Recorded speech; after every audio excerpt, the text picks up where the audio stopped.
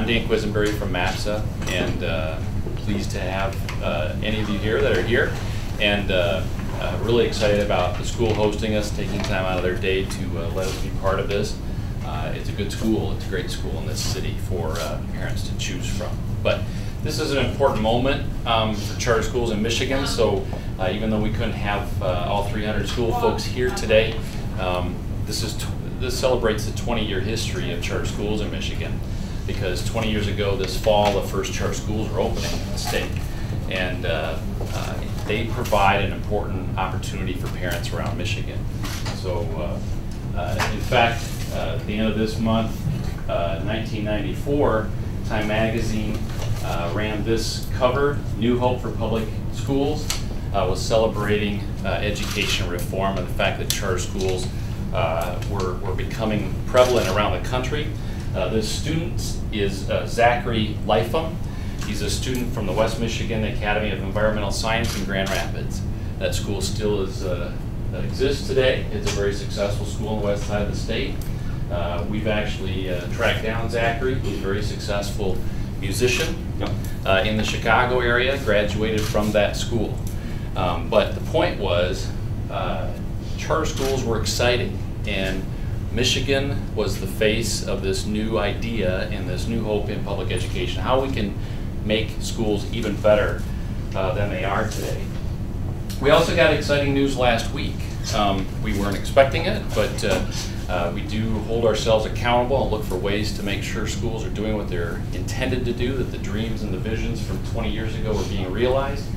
And uh, we're excited to celebrate the health of the public charter school movement uh, sector. Uh, this was a report that evaluated all the states in the country that have significant charter school laws, 26 of them, and Michigan was ranked third in the country.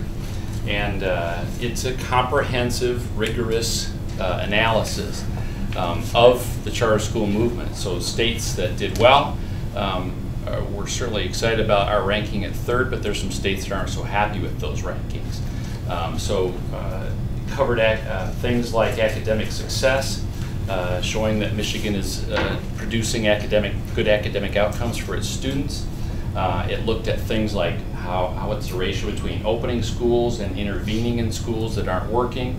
Uh, it looked at whether you're offering these new choices in communities that really need them and uh, uh, looking at places where you're using a variety of innovation in charter schools and also looked at things like uh, oversight and how well authorizers are doing their job. So uh, those are the things that matter in, in how well you're doing charter schools and, and again we're excited that Michigan ranks so well on all those reports. Uh, there's another, um, and you can see, yeah, there's, there's the other uh, um, states and some of the rankings there. We also would uh, continue to point to uh, a very important report that was done by Stanford University. It was the most extensive uh, comparison of academic outcomes. Um, that's what matters most is how well we're doing with our kids. And yet it's a very difficult thing to try to measure, particularly across states and try to comparing school buildings to other school buildings. This was the most extensive report, and importantly, uh, in the city of Detroit, uh, where 27% of the uh, charter school students are, uh, it showed that I, even on average, uh, students in a charter school in Detroit are getting an additional three months of education when you're looking at reading and math. Uh, those things matter to the parents that are making those choices, and again, this is a very highly credible uh, report.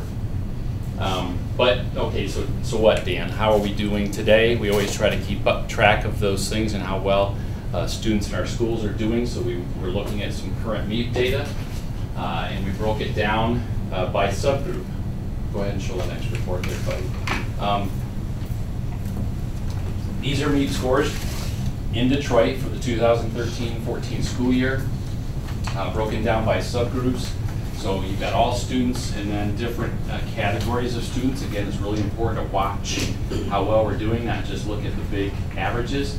But what was exciting is that uh, with this data and this year, uh, in reading and in math in every single category except for one, uh, the charter schools were performing better than their traditional counterparts.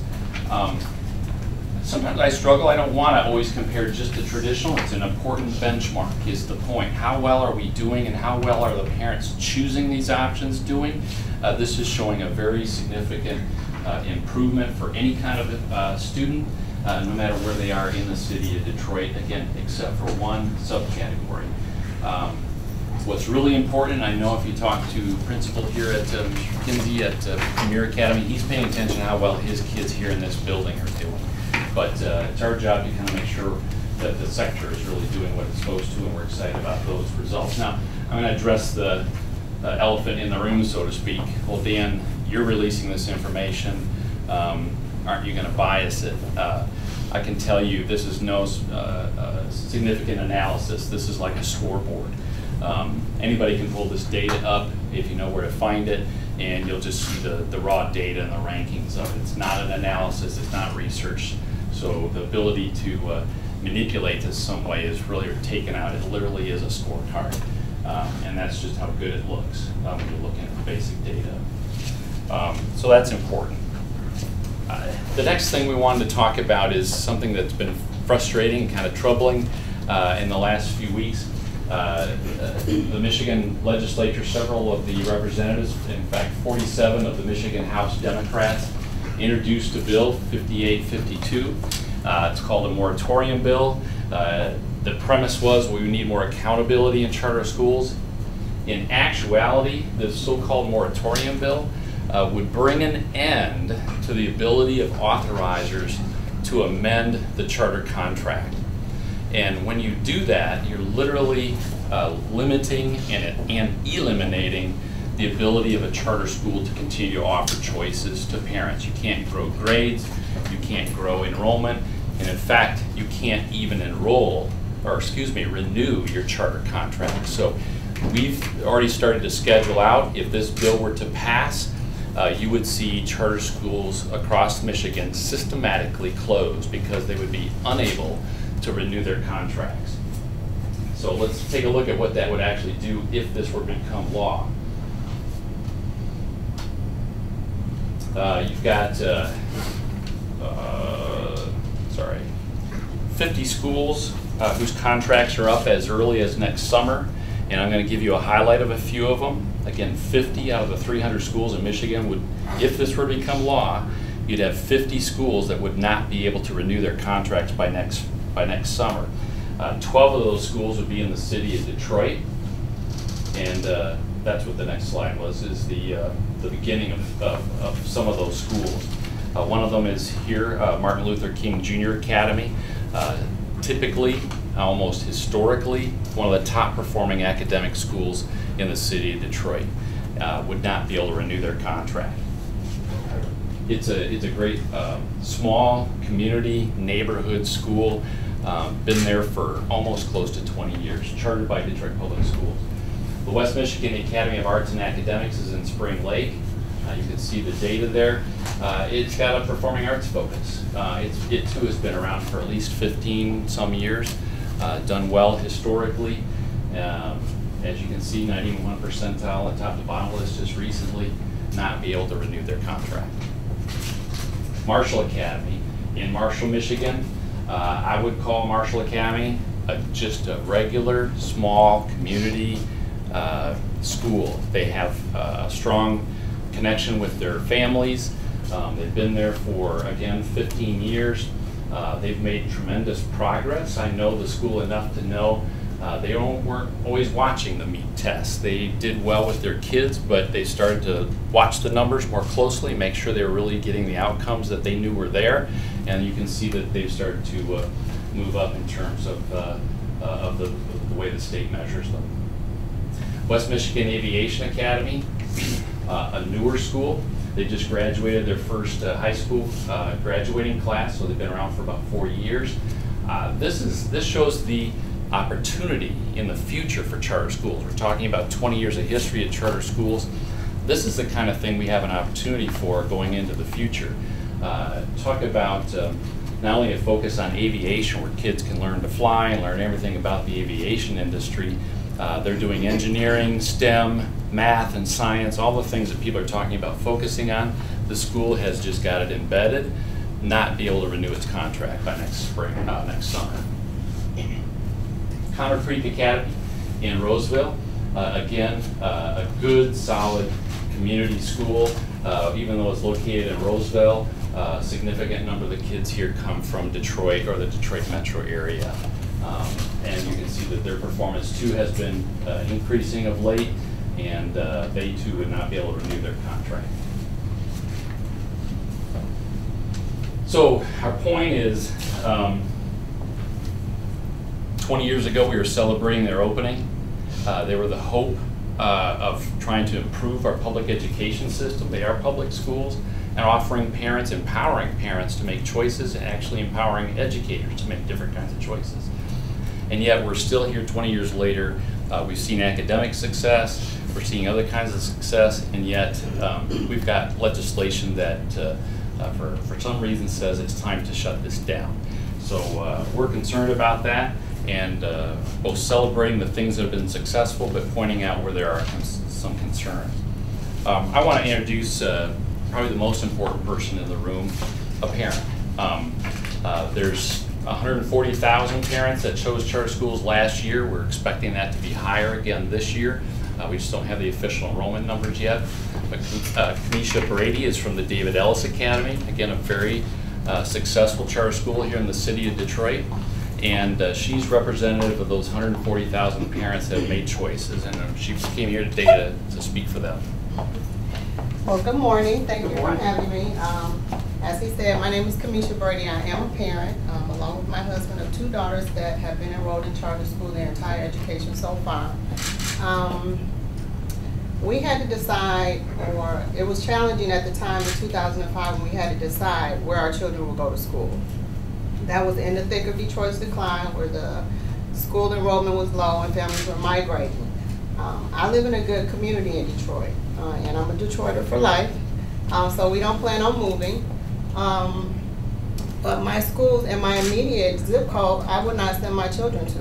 They were either abandoned or low performing. And so I was glad to have the opportunity to choose a charter school. Um, It's not close, so we do have to drive. Um, but we've been impressed with David Ellis, and I did my research as a parent. You know, that wasn't my original choice. I did the research first, and that was a good fit for my children. Um, it's a partnership. I'm there all the time. All the students know me. You would think that I taught there, and I'm not a teacher. Um, um, my oldest daughter um, is in the ninth grade, so she's at a premier high school in Detroit. So that's indicative of her education at David Ellis Academy. Uh, she was very well prepared. She's uh, adjusting. Um, she had very good experiences at David Ellis outside of the classroom. But I had no other alternative. So if, if the if the idea right now is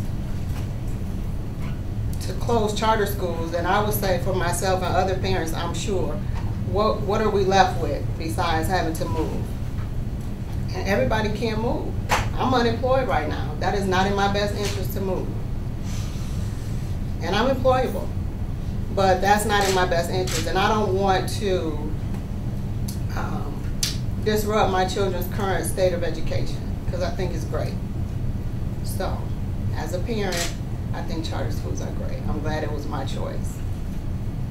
Thank you, Kamisha. Also want to introduce a a guest, uh, Representative Santana. As I mentioned, 47 of uh, uh, 50 uh, uh, House Democratic members signed this moratorium bill. Representative Santana was one that did not.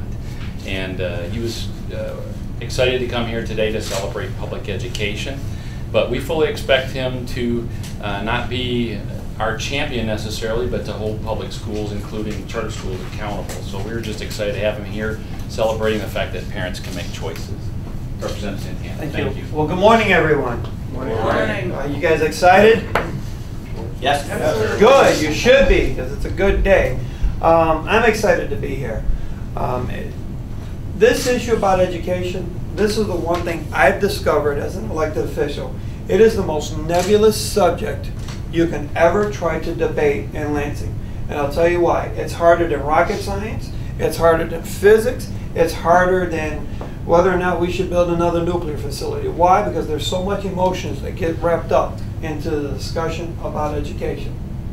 The decision I made in not supporting this bill was because I do not want to get in between Ms. Brady and her decision about what is best for her child. That, to me, is what this bill is all about. 20 years ago, and I remember this debate, 20 years ago, when this first happened, there was a furious debate in Lansing about this was going to be the end of public education. This was going to be how horrible it was going to be. Here we are 20 years later with everything we know, with as far as we've advanced politically and in the government and otherwise, as you stand in my ninth house district, 50% of the children that live in this district attend charter schools. Now, these numbers are rough, but more or less are accurate. You look citywide at school-age children, just around 50%, if not more, attend charter schools or schools outside of the Detroit Public Schools. Now, I'm not going to bash the Detroit Public Schools because we have some very good Detroit Public Schools. And there are some very good teachers and administrators and principals at Detroit Public Schools. But here's what we have to recognize. Parents have made decisions in the best interest of their children. The question we have to ask is not, should we shut down charter schools? It's, how should we improve them? Because they're here. And parents have already decided that they're going to be here because they want to continue to send their children to them. So, are they perfect? No. And I think that the charter school folks will tell you, we're not perfect. Do we need to improve? Yes. Well, let's work on improving them. And that's what I'm here to basically say. Let me close off by saying this. You're in my district. And if you want, we can go and knock on any door you want. And I'm going to tell you what we're going to likely find after about an hour of door knocking. Four generations of illiteracy sitting in one living room. That is a huge statement. Harvey, how do you qualify that? Four generations? You have a 15 year old that just gave birth to a child. She's living with her mother, and they're living with the mother's mother. Not one of them have more than a GED or high school education. Not one of them have more than a minimum wage job. One, if not two, are in some form of public assistance. In that living room, there's probably a 15 to 16 year old young man who's looking at this situation and says, I want nothing to do with it. So, you know what he does? He walks out his front door, goes two blocks down, hangs a right, finds an abandoned house with all of his friends, sits on the porch, and where do you think it's going to go from there? Because all of those young men walked out of their living rooms with that same situation. That's the challenge we have. And that's the challenges that walk into these classrooms every day. You talk to any of these parents, you talk to the principal standing here. He'll tell you some of the stories of what walks in here. But we've become so accustomed as a society to look at scores, to look at this issue or that issue, and we've neglected the fundamental issue. And it's the human being that's sitting in these, in these classrooms, in these chairs, trying to look for a hope and an opportunity in a country that's supposed to be the greatest in the world. Well, ladies and gentlemen, what I'm here to tell you is that I'm not here to shut the door on any opportunities. I'm here to help improve the opportunities that are in front of us. And if it means that I don't sign on to a bill that does that, then I'm happy to do that. So with that, I'll turn it back over to you. Thank you, Representative Santana. Happy to take any questions. Um, Dan, where in the legislation does it say that charter schools would be closed and unable to renew contracts? Yeah, I don't have the, the exact wording in front of me, but it basically prohibits uh, any amendments to a contract or any new contracts. A renewed contract is a new contract. So if you eliminate the ability to establish a new contract, there would be no renewals and schools would start to, uh, as their current contracts expired, they would be unable to continue their existence.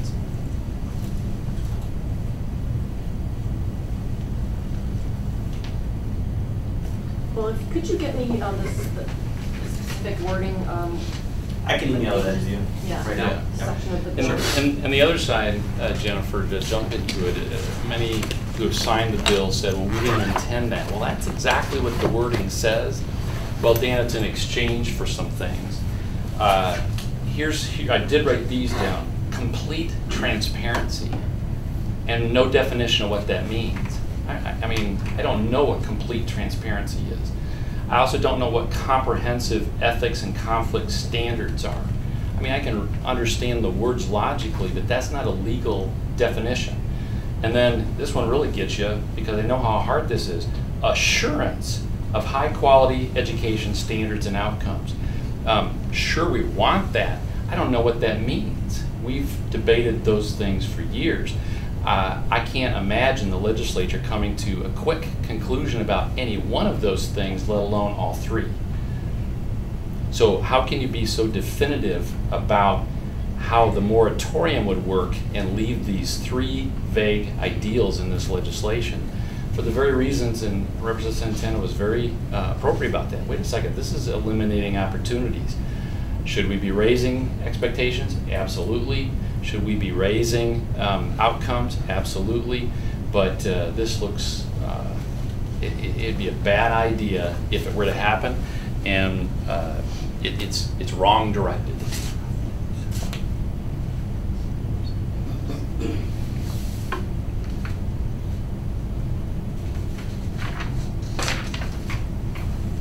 Um, Can I comment? Yeah, absolutely.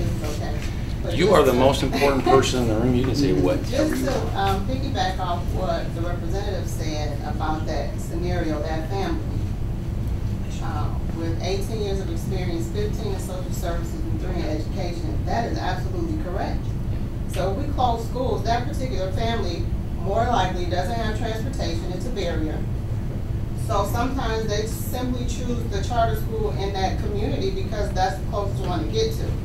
So if you shut that school down and the next school that is seven miles away, then we're gonna increase the dropout rate. Yeah. Because you have to think about that population of people as well. Sometimes the resources are not there and I might not be resourceful enough to figure out how to get to school, so I just won't go. You know, as a parent, if you shut the schools down, what are my options? You know, every parent wants a better education for their children than they had. You know, I graduated from DPS schools, I went to Michigan State. But also at Michigan State, I realized that I had some struggles, that my competitive schools, you know, your private schools, they have the money to provide certain resources. So you're gonna get a different, you're gonna produce a different student. But when that is not your option, then what is the option? So if we think that Detroit communities are in a state of destitute or degradation, then it's gonna be worse if we don't have any education opportunities. Rob? Dan, you mentioned that you believe the charter school community wants to and needs to improve accountability and quality. How do you see that occurring right now? Yeah, a good question. In fact, the report, the Health of the Sector report, does offer some recommendations um, that Michigan should pay attention to. One of them is certainly driving academic outcomes. Um, One of those would be having a consistent measure in this state for all of our schools. Uh, We've supported for a year and a half uh, an A through F letter grading system. Um, We measure kids with A through F. Uh, Schools are already being measured. Why don't we do something simplistic that's easily understood, that has real rubrics and metrics behind it uh, to kind of help drive our academic outcomes? Um, I could go into a lot longer explanation about that, but Michigan as a whole, none of our schools are doing really well. So that's one thing, Rob, would be to uh, create a system that supports driving the academic outcomes and helping people know where we are. The other is to continue to uh, uh, create opportunities like charter schools. I, I, I kind of mentioned in a reference the West Michigan Aviation Academy. Um, everyone in education understands how hard this is, particularly with the kids. Um, Representative Santana was talking about families and communities that we're talking about. So one of the ways you really work past that is to engage kids in their education in a very meaningful way. That's what uh, project-based learning is. I mean, those kids, if you walk into the West Michigan Aviation Academy, they're not special children. They're coming from downtown Grand Rapids. They're in poverty. Um, but those kids are just off the charts. High school kids excited about their education. That matters. Um, and I'm, I'm going to watch over the years as their outcomes uh, come out that they're going to get to a place that are exceeding um, what we currently see in our education system. So one of those continuing to offer those innovative ideas. So academic outcomes, uh, innovative ideas, and then they talk a lot about, uh, particularly in a place like Detroit, offering the supports that make choice work really well. Um, we don't have good information, so you know, uh, diligent parents like uh, Miss Brady will figure this out. Uh, do all parents uh, have the resources to make good decisions? Uh, is the information easily accessible? uh, that they would care about and they want to make decisions about those, that's important. And then we do have systems in place to help them actually make those choices. So academic outcomes, continued opportunities, and uh, good support for parents, I think, is really, really helpful. Funding, you know, you have to, you always have to have funding in there. Um, 20 years ago, when we established charter schools, we created a per pupil funding the kids, not institution system and we need to continue to do that. In fact, um, as, as, our, as our mom said, uh, we've got kids who are real need. We probably ought to be reflecting poverty in there someplace so the kids in the schools that are serving those populations are really able to do what they need to do to help kids. Uh, that's equitable, right? Because they don't have all the advantages everybody else has.